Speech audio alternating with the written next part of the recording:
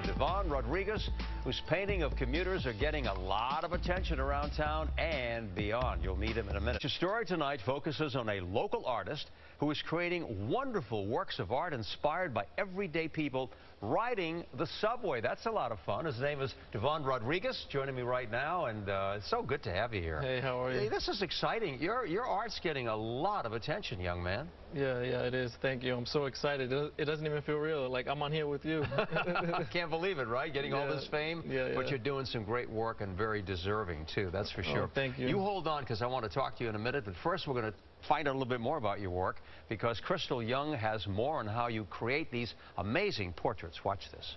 For Devon Rodriguez, painting is his passion, and he's good at it.